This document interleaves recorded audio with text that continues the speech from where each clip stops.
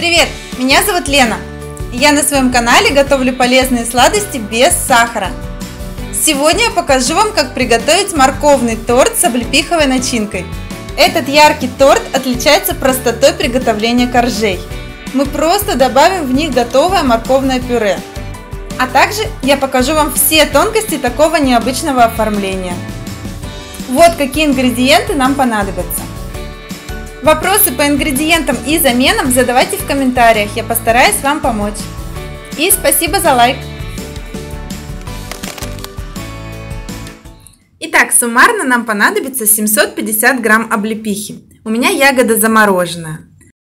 Можно также использовать и другую ягоду, но тогда тортик будет оформлен уже в других цветах. Облепиху измельчаем в блендере до состояния пюре. И обязательно процеживаем через сито, чтобы избавиться от косточек и шкурок. Вот такое жиденькое получается пюре, прям полупюре, полусок. Его мы будем использовать и для коржей, и для начинки, и для украшения. И приступим к приготовлению коржей. Нам понадобится 130 грамм муки. Я взяла половину овсяной, половину муки из зеленой гречки. Но вообще в этих коржах можно использовать любую цельнозерновую муку. Сюда же добавляем 7 грамм подсластителя, 5 грамм соды и 1 чайную ложку куркумы для цвета. Можно добавить такие специи, как имбирь, кардамон, гвоздика или корица, лимонную или апельсиновую цедру. Они прекрасно гармонируют с морковными коржами. И отдельно смешаем жидкие ингредиенты. 300 грамм морковного пюре, 100 грамм облепихового пюре и 2 яйца. Тщательно перемешиваем. Получается очень ярко. И смешиваем все это с сухими ингредиентами. Эти коржи хоть и готовятся на основе пюре, а не тертой моркови, получаются такие же сочные и влажные. Очень сладкие и очень ароматные. Вот такое тесто должно получиться. Его распределяем по противню. Наша задача испечь из него три коржа диаметром 16 сантиметров. Два у меня легко входят на этот противень, а один я распределяю по кругу на другой противень. Можно вообще все выпекать в формах, если у вас есть три формы для выпечки диаметром 16 сантиметров. Коржи выпекаем при температуре 175 градусов Цельсия 25 минут. Пока коржи пекутся, можно сделать начинку и декор. Для этого нужно сначала подготовить формы. Возможно, у вас найдутся подходящие, но если нет, то я покажу вам, как сделать их из фольги. Смотрите, нам нужно замерить длину окружности торта. Я это сделаю с помощью ацетатной ленты по внешнему диаметру формы. И добавляем как минимум 7 см, так как торт будет чуть шире за счет покрытия. Складываем ацетатную ленту вдвое. Именно такой длины, а лучше с запасом, нам понадобится форма. Ширины будет достаточно сантиметров 15. Нам нужно сделать из фольги плоскую форму со слегка загнутыми краями. Удобно это сделать с помощью дощечки. И подгибаем, насколько это возможно, края. Удобнее, если они будут низкие. Вот такая форма получается. Прокладываем ее пищевой пленкой И еще нам нужно сделать два круга по диаметру торта. Это проще. Обволакиваем форму фольгой и подгибаем края. Тоже подогните хорошо фольгу, чтобы бортики были пониже. Вот такие формы у нас получились. Также на дно формы укладываем слой пищевой пленки. Все готово для начинки. А сама начинка готовится очень просто. В оставшееся облепиховое пюре, это 420 грамм, добавляем 20 грамм подсластителя. Сладость, конечно, регулируйте на свой вкус. И 8 грамм агар-агара. Если сомневаетесь в своих весах, то лучше добавить на грамм больше, чем меньше. Тщательно перемешиваем. Кстати, если вам нужен только декор или только начинка, уменьшите порцию вдвое. Доводим пюре до кипения и кипятим одну минуту. Агар-агар застывает при 40 градусах, поэтому заливаем начинку сразу, пока она еще жидкая. Так она ляжет ровным слоем. Половину заливаем в прямоугольную форму, это около 220 грамм. И по 110 грамм в круглые формы. Начинка застынет очень быстро и будет готова к сборке торта. Вот такие коржики у нас испеклись.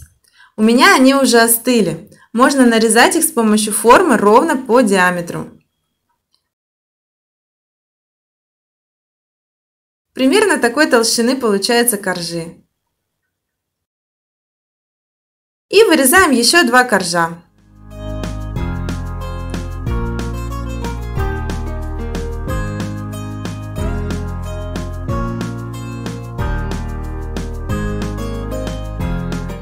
Теперь пора подготовить крем. Для крема нам понадобится 450 грамм рикотты. Ее нужно довести до однородности в блендере. Не стоит измельчать слишком долго, чтобы чересчур не размягчить рикотту. И добавляем все остальные ингредиенты для крема. 150 грамм мягкого творога, 16 грамм подсластителя, чайную ложку натурального экстракта ванили и 1 грамм соли. Доводим крем до однородности в блендере. Вот такой гладкий и мягкий крем должен получиться. Этот крем не подходит для покрытия, как и не подходит для прослаивания торта толстым слоем крема.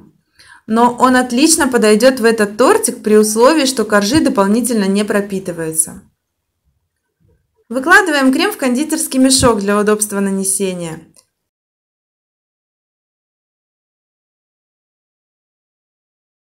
И можно приступать к сборке торта. Собирать будем все в том же кольце диаметром 16 сантиметров. По бортику проложена ацетатная лента. На подложку наносим немного крема, чтобы торт был хорошо зафиксирован на ней и не сдвигался при транспортировке. Выкладываем корж и прижимаем. И выкладываем слой крема. Пропитывать коржи не нужно. Во-первых, потому что они у нас достаточно влажные и так, а во-вторых, крем очень мягкий, и при добавлении еще влаги в торт может просто потечь. На каждый слой наносим 120 грамм крема. В рецепте точно подобрана консистенция, чтобы торт был хорошо пропитан, и при этом крем не вытекал из него, и коржи не съезжали при любой тряске. Выкладываем слой начинки.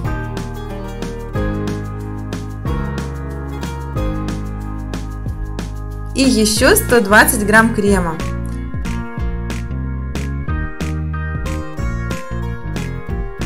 И снова корж. Прижимаем. И снова слой крема. Чередуем слои.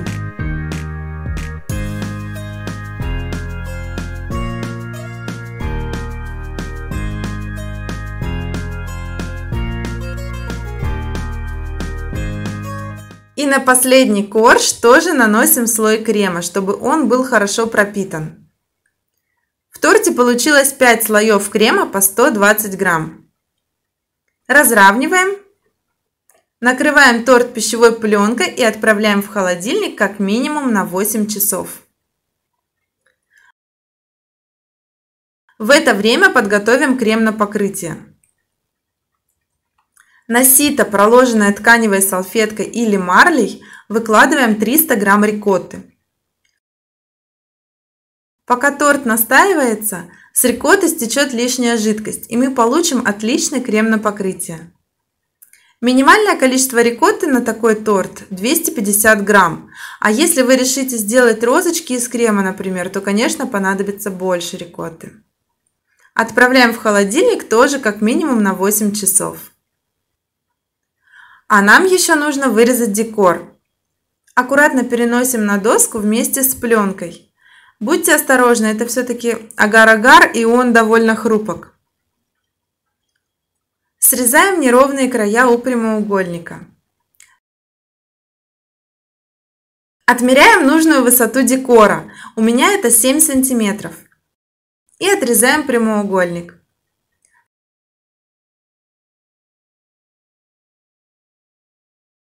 Рисунок я сначала намечу зубочисткой.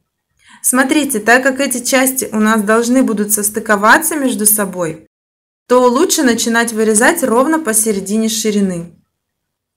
Произвольные линии и заканчиваем тоже посередине.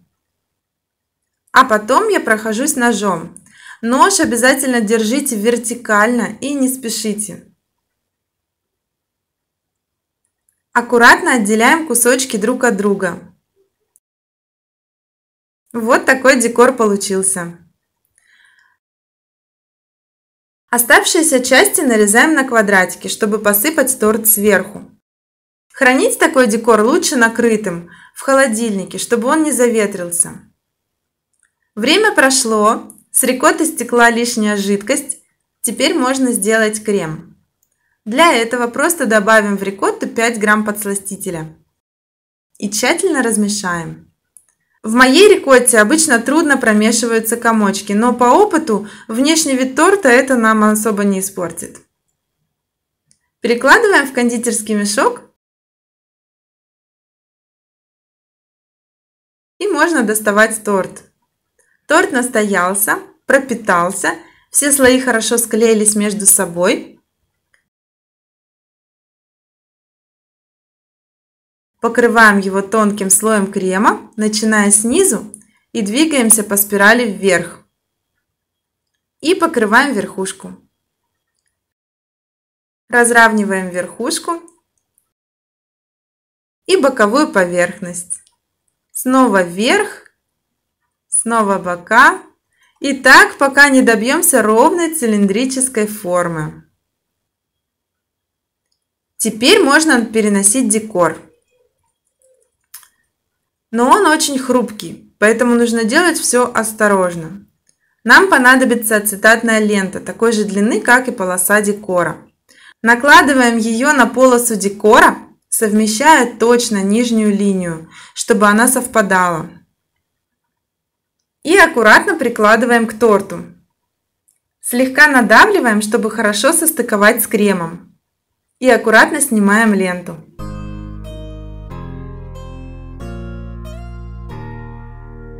Также поступаем со второй частью. Сверху посыпаем мармеладными кубиками.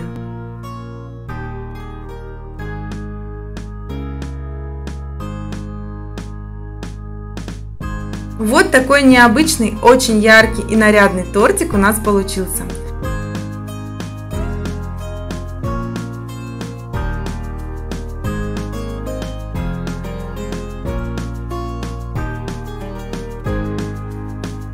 Давайте его разрежем.